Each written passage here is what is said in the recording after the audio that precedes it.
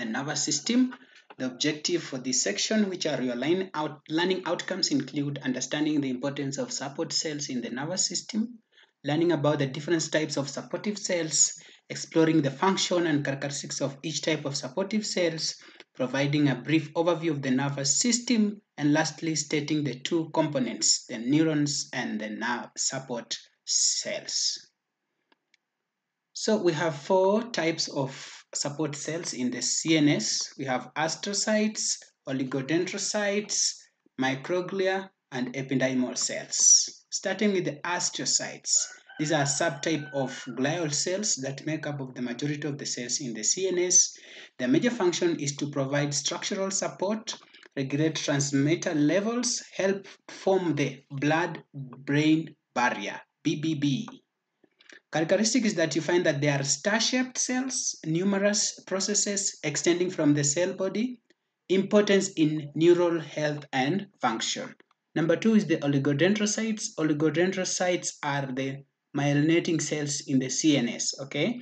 They are the end product of cell lineage, which has to undergo a complex and a precisely timed program of proliferation, migration, differentiation, and myelination to finally produce the insulating sheath of axons. Their function is to produce myelin sheath in the CNS, which normally insulates nerve fibers and enhances signal uh, transmission. Remember, multiple sclerosis will be targeting this part, okay? Will be targeting these parts, the myelin sheaths produced by the oligodendrocytes. Fewer processes than astrocytes if you compare and they're responsible for myelinating multiple axons. They are compared to Schwann cells in the peripheral nervous system. The third one is microglia and microglial cells are specialized population of macrophages that are found in the CNS. They remove damaged neurons and infections and are important for maintaining the health of the CNS. Their major function is to act as immune cells of the CNS. They defend against pathogens and remove cellular debris. They look at their characterization. They are small, mobile, and capable of phagocytosis. Role in neuro inflammation and neural disorders is noted for this. Lastly is ependymal cells and cells are neuroepithelial multiciliated cells lining the spinal cord and the cerebral ventricles and are derived from uh, the radial glial cells in the embryo between embryonic day, day 14. So the function is that they line up the ventricles of the brain and the central canal of the spinal cord and produce CNS, okay? So, uh, their characteristics is that they are or columnar shaped cilia with cilia on their surfaces. They are very important in the CSF, which is important in cushioning and supporting the CNS.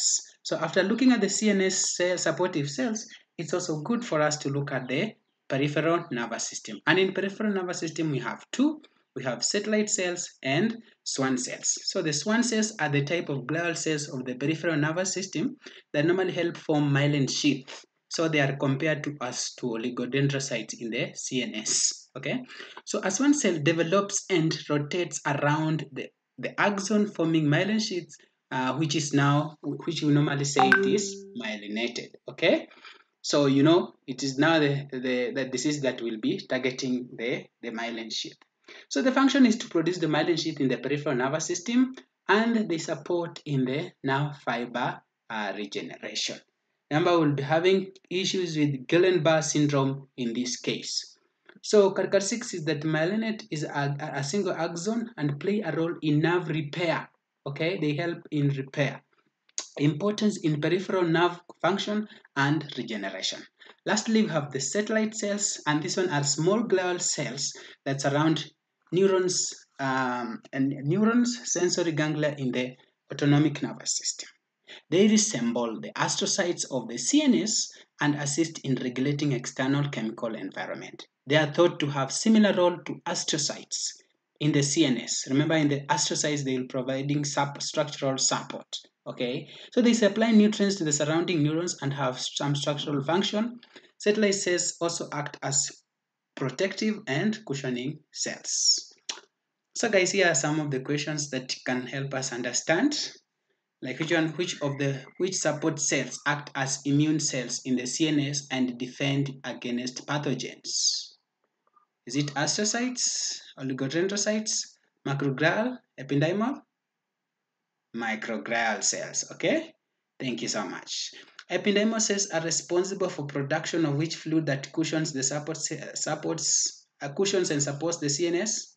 Blood plasma, CSF, interstitial, lymphatic? We've said the ependymal cells are involved in production of the cerebrospinal fluid, which is very important in cushioning and supporting the CNS. Which of the following um, cells in the CNS provides structural support and helps regulate neurotransmitter levels? Structural support, yes. For the structural support are the, they are the astrocytes, okay? Thank you so much. Then next we have which of the following in the CNS are responsible for producing myelin sheath that insulate nerve fibers in the CNS? Myelin sheath, oligodendrocytes. Very good. Which support cells in the peripheral nervous system produces myelin sheath in the central nervous system, in the peripheral nervous system? Yes? Schwann cells. Very good. Which support cells play a role in the repair and regeneration in the PNS? Yeah? Nerve repair and regeneration? The Schwann cells. Very good, very good. What's the primary function of the Schwann cells in the PNS? Production of the myelin, myelin sheath. Which type of supportive cells surrounds the cells bodies of the neurons in the PNS? Surrounding the cell bodies?